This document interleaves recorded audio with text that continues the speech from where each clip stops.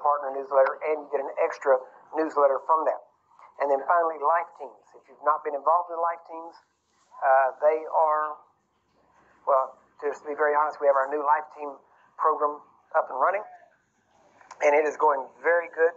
Uh, it's amazing how many people now have signed up, and they're going through the process and learning how to become a certified DHT, but also to do a life team. And that way we can connect you with other people in your area that also believe this message and are walking in it so we can help create community for one another. Uh, and the life teams, that's where you do the role play learn how to do everything that we're talking about on an ongoing basis.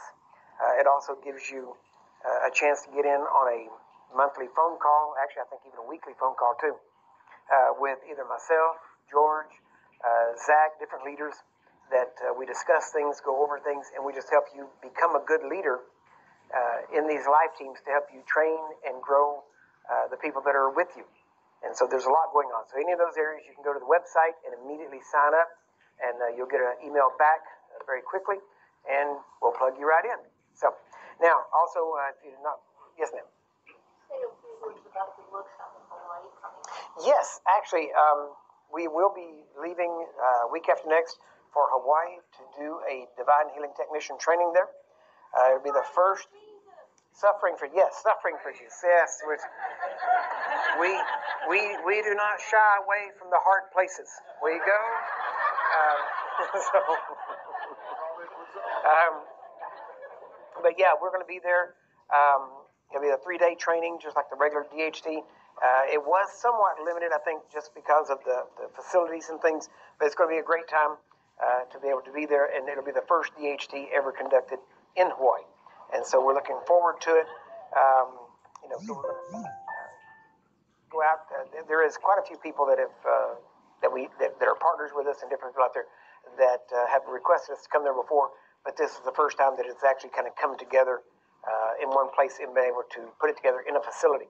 And so we are looking forward to it. Uh, we will be out there actually a week, uh, and then actually the week after that, where the office is here when we shut down we're taking our entire staff with us on this. So we're there. We the, the ministry has provided them uh, a week's basically a week's vacation uh, at the end of that uh, after the DHT. So we're going to be out there just to relax, have a good time, and share time together. So now, um, so we are we're really excited about it. Um, you know, it's going to be a good time. Uh, if you know people in that area, tell them to look on the website, give the detail. If you would like to come, it's out. You're welcome come. I do know that it is. Um, I don't know if it's actually. I don't know if they've actually shut down registration because it's full or not. I'm not sure yet, but I know they were concerned at one time about the size of the facility and the number of people and all that kind of stuff. So, because for some reason people in the mainland want to go to Hawaii for a DHT. It's just amazing. So, uh, I guess if you pick the right place to hold it, uh, you know, you can have some pretty good crowds on, on these things. So, so as a matter of fact, uh, Courtney and I was uh, talking uh, this morning about putting together a trip to Israel and about all of us going to Israel and going to the places. So I think it would be good.